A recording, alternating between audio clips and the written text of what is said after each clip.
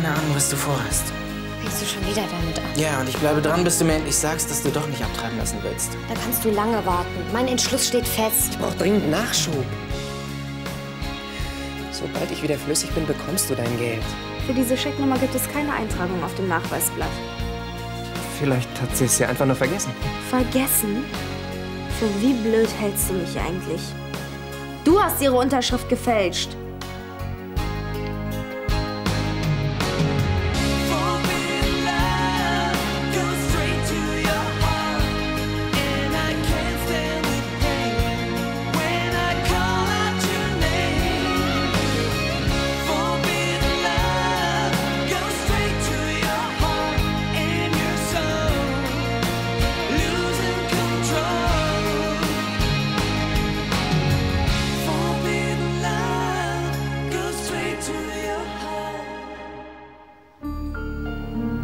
Komm bloß nicht auf die Idee, es abzustreiten.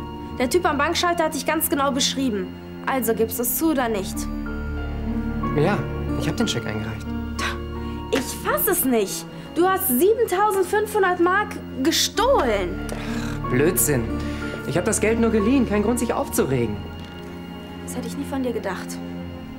Genauso wenig wie ich von dir. Ich erinnere nur an die Geschichte mit Barbaras Kreditkarten.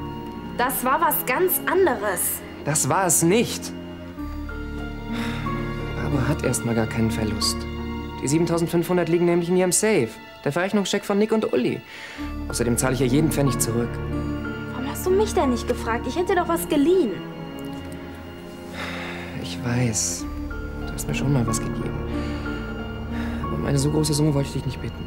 Das hättest du aber besser mal getan. Jetzt bekommst du nämlich Ärger. Ach, das kriegen wir schon hin. Wenn es dazu nicht zu spät ist. Die Bank will nämlich die Polizei einschalten.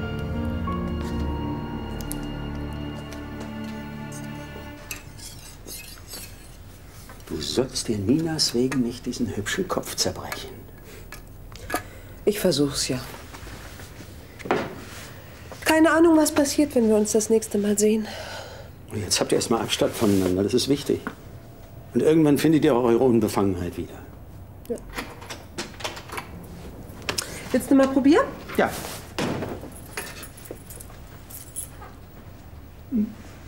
Prise Salz. Ich bin wieder da. Hallo Millie. Hoffentlich hast du Hunger. Millie, heute lohnt es sich aber wirklich. Ja, mal sehen. Ich deck schon mal den Tisch hier.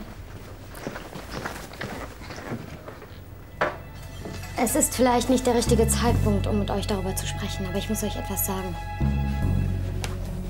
Worum geht's denn? Eigentlich wollte ich mein Kind ja zur Adoption freigeben, aber Jetzt willst du es behalten. nein, ich lasse es abtreiben. Es kommen natürlich nur geladene Gäste und Leute von der Presse. Du wirst sehen, unsere Eröffnungsfeier wird der Hammer. Was wollt ihr haben? Tee mit Rum ist neu auf der Karte. Äh, nee, ich hätte lieber einen Kakao. Und ich einen Milchkaffee, bitte. Ich finde es übrigens klasse, dass du die Fotos hast. Habe ich auch große Lust zu. Ja, das kann ich mir vorstellen. Immer nur Bildchen für einen Kirchenkalender, da hätte ich auch keinen Bock drauf. Aber bei unserem Werbeprospekt kannst du dich so richtig austoben. Also ich habe mir Folgendes vorgestellt. Ich habe doch noch gar nichts gesagt.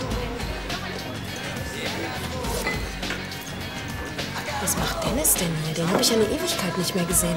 Und ich hatte gehofft, ihn nie mehr zu sehen. Hi, Und auch nicht mehr zu sprechen. Da hast du dich zu früh gefreut. ich darf mich doch setzen.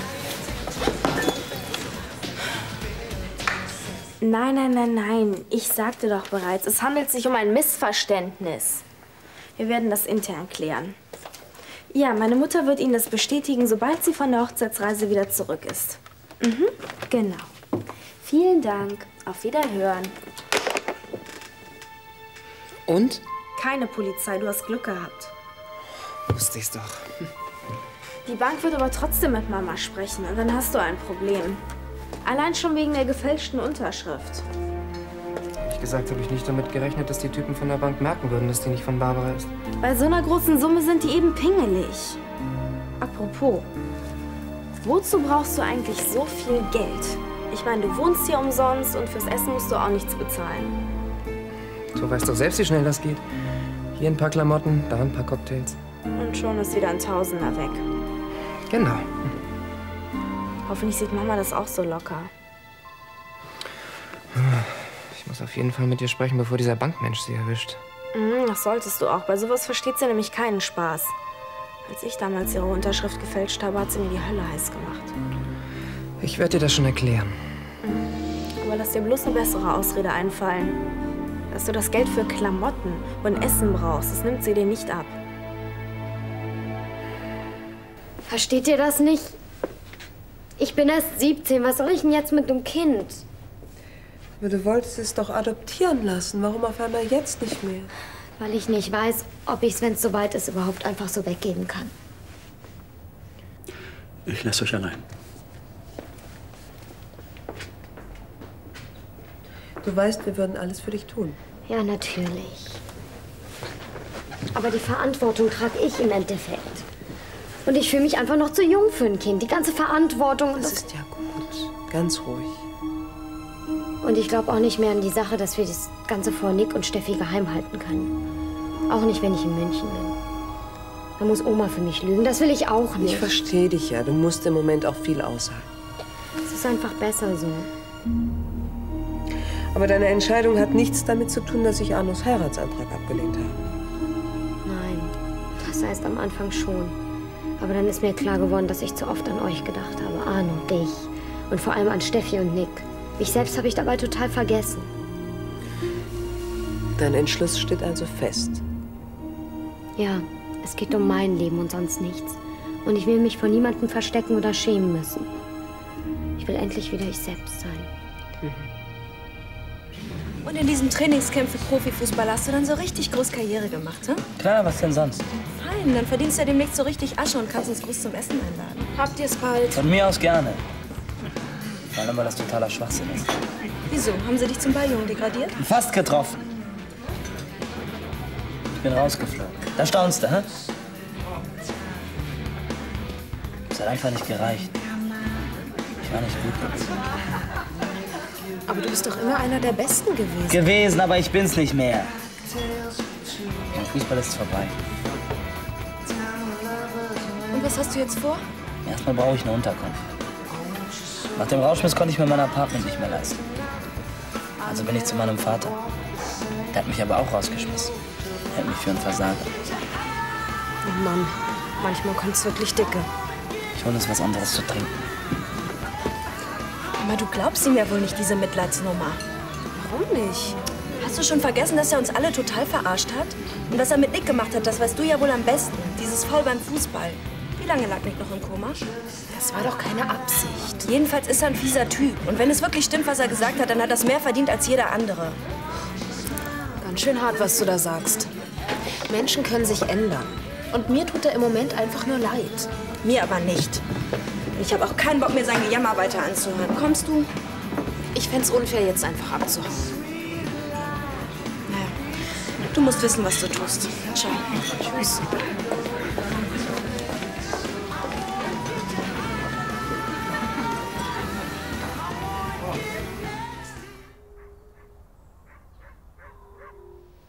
Mensch, Gero.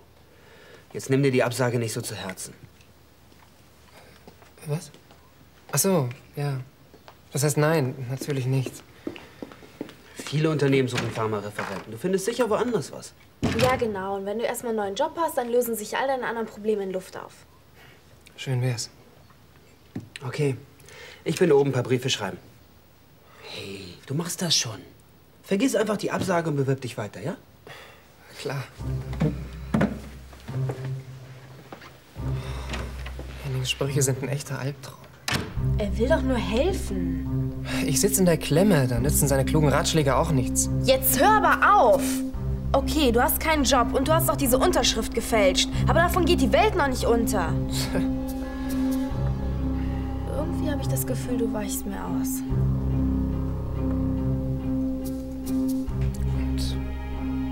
Was meinst du, warum? Ja, keine Ahnung, sonst würde ich ja wohl nicht fragen. Dann lass es doch einfach bleiben.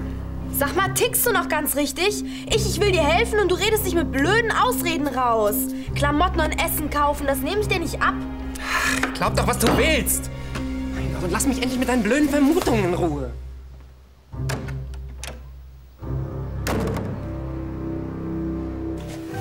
Weißt du noch? Dein erster Modeljob.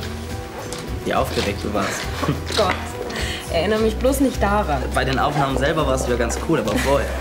Vorher hast du die ganze Zeit an deinen Haaren rumgefummelt und dein Make-up gecheckt. Sitzt meine Frisur auch richtig? Was ist mit meinem Teint? Ich glaube, ich glänze. Ohne dich wäre ich nie ins Modelgeschäft eingestiegen. Früher oder später hätte man dich entdeckt. Du bist halt eine Frau mit Ausstrahlung. Nein, ehrlich. Das nötige Selbstvertrauen, das habe ich erst durch dich bekommen. Wie sagt man so schön, du hast an mich geglaubt. Und du hättest es auch ohne mich geschafft. Wie läuft's denn zurzeit? Ach, ganz gut, es entwickelt sich. Und wie geht's Nick? Ich meine, seid ihr zwei? Wir wohnen jetzt zusammen. Nick, Uli und ich. Das ist echt nett. Prima. Ich habe später noch oft an Nick gedacht. Es tut mir leid, was damals passiert ist. Du hast ihn ja nicht absichtlich ins Krankenhaus befördert. Es war ein Unfall. Danke. Alle dachten, ich hätte es absichtlich getan. Beweis da mal das Gegenteil. Jetzt mach dir mal keine Gedanken mehr. Es ist alles gut ausgegangen. Nur mit dem Fußball hat Nick jetzt endgültig abgeschlossen. Da haben wir ja was gemeinsam, Nick und ich. Wenn ich irgendwas für dich tun kann, dann sag mir Bescheid. Ich helfe dir gern. Nett von dir, aber ich muss das alleine schaffen. Ich habe morgen ein Vorstellungsgespräch und wenn das klappt, dann bin ich erstmal aus dem Gröbsten raus. Echt? Um was geht's denn? Was mit Sport? Nee, nee, eine ganz andere Richtung, aber ich will noch nicht drüber reden. Oh, ich muss jetzt auch los. Also, ich drück dir die Daumen für morgen. Danke. Bis dann. Tschüss. Tschüss, wir sehen uns. Bestimmt.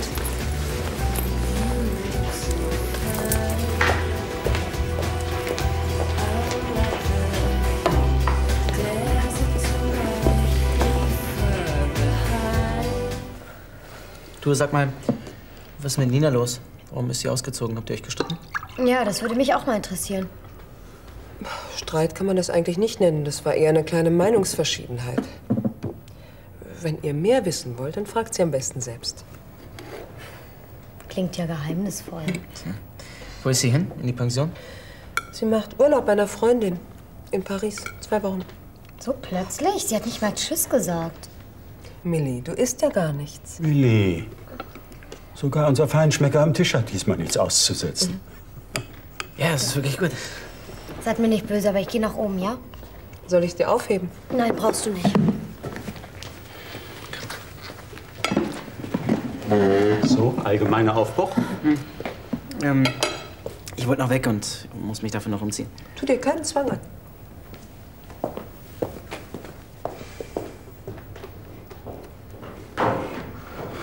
Dieser Eingriff morgen. Ich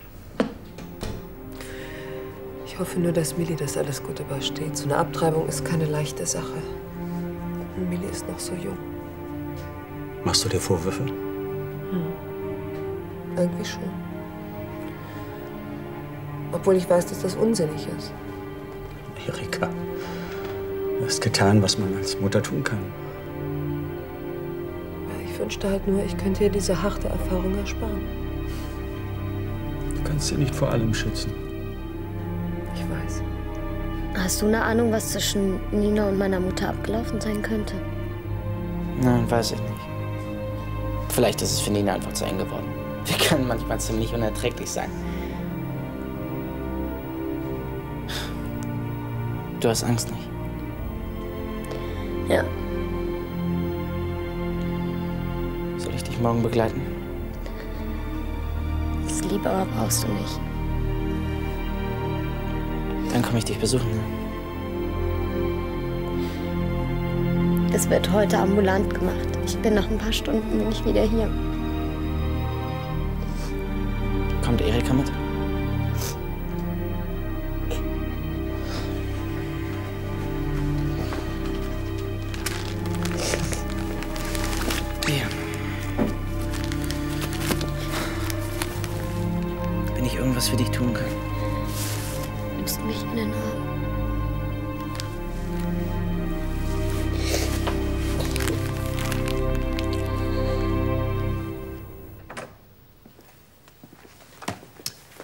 Mensch, da bist du ja. Ich habe dich schon überall gesucht.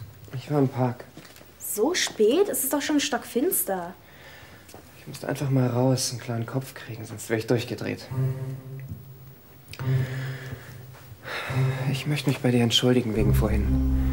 Ich habe es einfach nicht mehr ausgehalten. Der ganze Druck. Was ist denn los mit dir? Ich weiß nicht, wie ich es dir sagen soll. Ich, bestimmt kein Verständnis dafür. Unsinn. Du bist mein Bruder und egal was du angestellt hast, ich halte zu dir. Du kannst mir vertrauen. Na gut, Also, du hast natürlich recht gehabt. Ich habe das Geld nicht für Klamotten oder irgendwelchen anderen Kram gebraucht. Ich brauchte das für was anderes. Wir haben auch immer noch nicht geklärt, wer welche Aufgaben übernimmt bei der Ladeneröffnung. Also Frank ist DJ. Ich habe mit ihm gesprochen, als ich die Einladung vorbeigebracht habe. Und dann brauchen wir noch ein bis zwei Leute fürs Buffet. Und einer muss sich um die Presse kümmern. Hm, da komme ich ja genau im richtigen Moment. Hi. Äh, wo warst du so lang? Im No Limits. Und ihr ratet nicht, wen ich da getroffen habe. Heino, den Barkeeper. Den könnten wir doch noch anhauen. Vielleicht will der sich ein bisschen extra Kohle verdienen. Ja, gute Idee. Wollt ihr nun wissen, wen ich getroffen habe oder nicht? Dein Traummann? Nein. Dennis. Ja, und wegen dem machst du so einen Aufstand. Du wirst es nicht glauben, aber er hat sich positiv verändert. Außerdem geht's ihm dreckig. Sieht er mal, wie das ist. Oh, was hat er denn? Potenzstörungen? Idiot. Er ist aus seiner Fußballmannschaft geflogen. Jetzt sucht er dringend einen Job und eine Bleibe. Sein Vater hat ihn vor die Tür gesetzt. Großartig, der Mann. Es gibt eben doch noch Gerechtigkeit. Ihr seid gemein. Habt ihr vergessen, dass Dennis damals Nick gerettet hat, als er im Krankenhaus lag? Ohne ihn wäre ich da jetzt gar nicht hingekommen. Und was er in Nicks Zimmer wollte, das interessiert mich heute noch. Ja, mich auch. Ach, jetzt weiß ich. Was er wollte? Du hast einen Ohrring verloren. Das hat mich die ganze Zeit schon irritiert. Egal, war eh nicht teuer. Jetzt lass uns lieber mal klären, wer was bei der Ladeneröffnung macht. Ähm, Steffi, wie sieht's mit dir aus? Gehst du ans Buffet? Mhm, kann ich machen. Brauchen wir nicht noch ein paar Helfer? Also wenn du dabei an Dennis denkst, dann vergiss es ganz schnell wieder.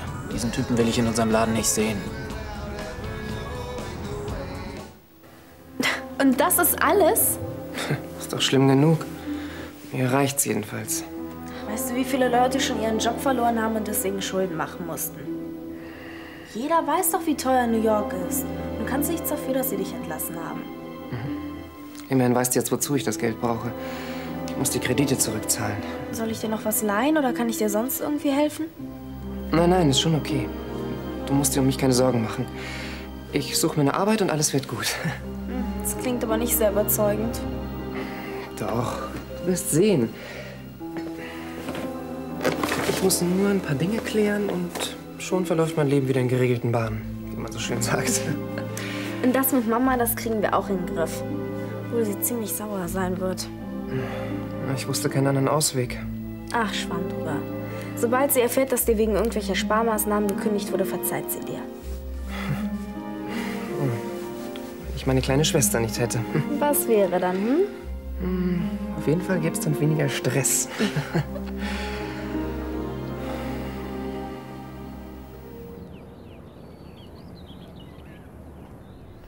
Kopf hoch, Millie.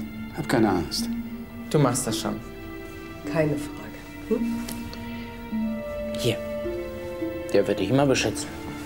Danke. Ich denke, es wird Zeit. Ja, lass uns gehen. Bis später. Ich bin früher zu Hause.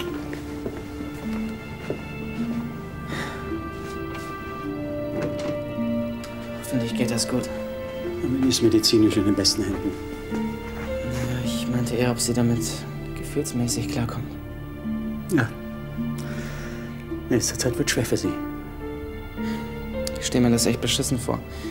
Ich meine, du weißt, da ist was Lebendiges in dir drin, dass man ein Kind werden soll. Für das man Verantwortung übernehmen muss. Große Verantwortung. Millie fühlt sich dem nicht gewachsen. Das müssen wir akzeptieren. Ja, klar. Wow, toller Laden. Richtig nobel habt ihr es hier. Das trifft sich gut, dass du kommst. Ich hätte dich heute eh noch angerufen. Wieso braucht ihr einen Manager oder einen Topmodel? Nein. Wir verkaufen vor allem Frauenklamotten. Hast du Lust, bei unserer Eröffnung zu kellnern? Ja klar, lässt sich einrichten. Darüber hinaus, eine zweite regelmäßige Einnahmequelle wäre nicht schlecht. Also ich habe nichts dagegen. wenn du Zeit hast. Ich spreche noch mal mit Uli. Äh, Schreib doch einfach deine Telefonnummer in das Adressbuch da an der Bar, ja? Eigentlich wollte ich gestern Steffi schon fragen, ob er noch jemanden braucht.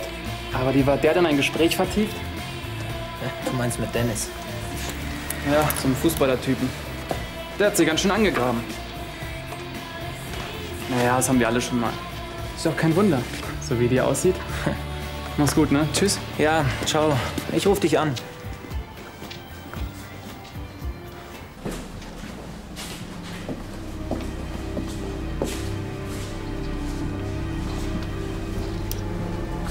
Kommst du?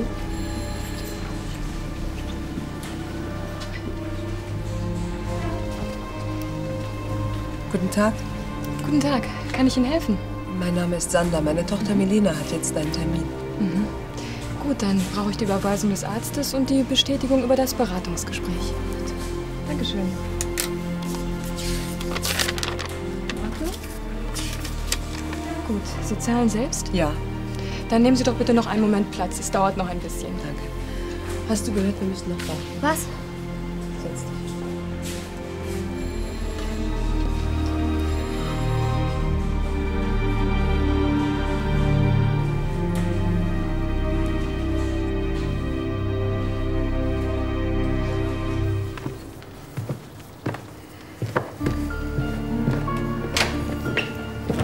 Morgen, Gero. Hallo. Willst du verreisen? Äh, Nein, ich muss zum Sport. Mich mal wieder ein bisschen bewegen. Na, dann machst doch wie ich und geh reiten. Äh, vielen Dank, aber ich trainiere lieber an Geräten. Zwecks Muskelaufbau. Ah, verstehe. Hast du denn ein vernünftiges Studio? Ich denke schon. Muss es mal antesten. Aber ich glaube, es ist ganz gut. Na dann, frohes Gewichte stemmen. Danke.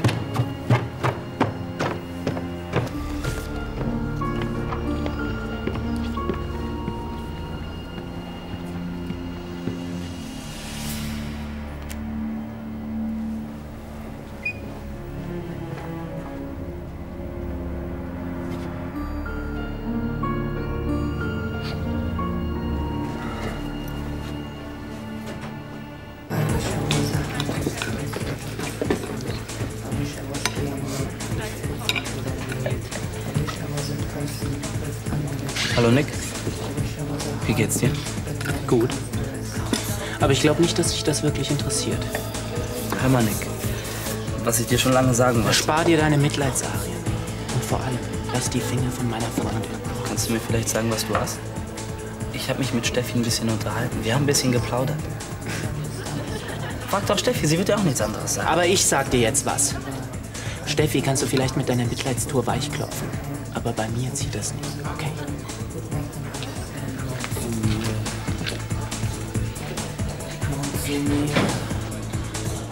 So, Sie sind jetzt dran. Es ist nicht schlimm. Sie spüren gar nichts.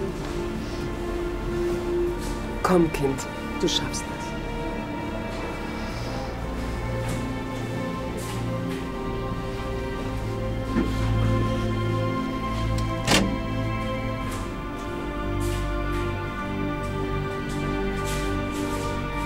Bitte,